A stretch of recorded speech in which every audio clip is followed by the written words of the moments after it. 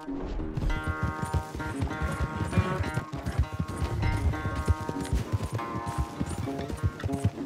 never were much of a rider.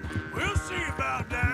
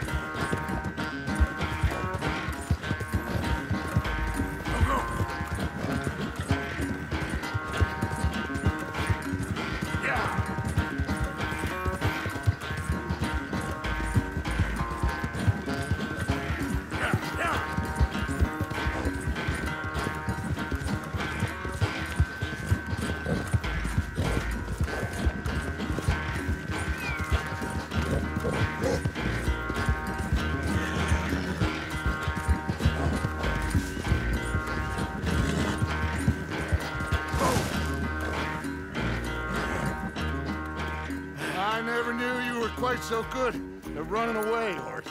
I never knew age had slowed you down quite so much. Well, time is a bastard. When you get to be my age, well, you'll know that better than anything. Be well. I had fun with you today. You're... I was gonna say you're like a son to me. But you're more than that.